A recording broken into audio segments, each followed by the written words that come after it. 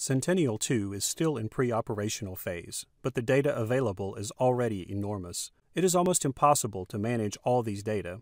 To create mosaics and pyramids, it would take years. So we rather took the alternative approach to create super efficient on the fly processing chain.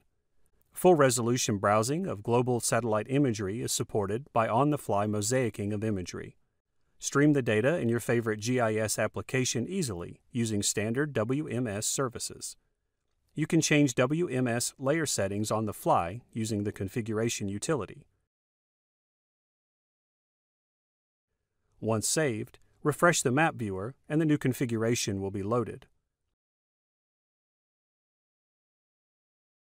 Different visualization options of imagery is available, for example, false color and normalized difference vegetation index.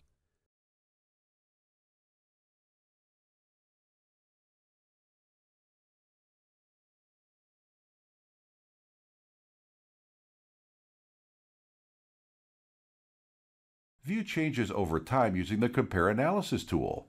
There are two different modes to choose from, a split slider or an opacity fader. Alternatively, a time-lapse creation tool is available.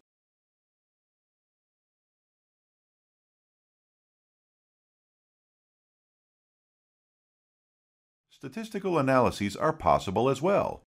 Pattern recognition and change detection technologies open possibility for automatic monitoring of large areas.